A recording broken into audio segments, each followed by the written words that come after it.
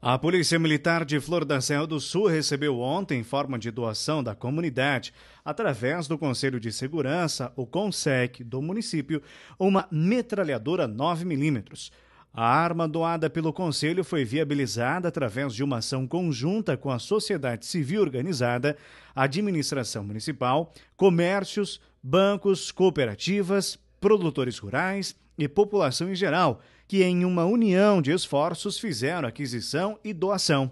que vai auxiliar nos trabalhos de segurança pública realizado pelas equipes de polícia. O ato de entrega contou com a presença de autoridades do município e policiais militares, que compõem a equipe do destacamento da Polícia Militar de Flor da Serra do Sul.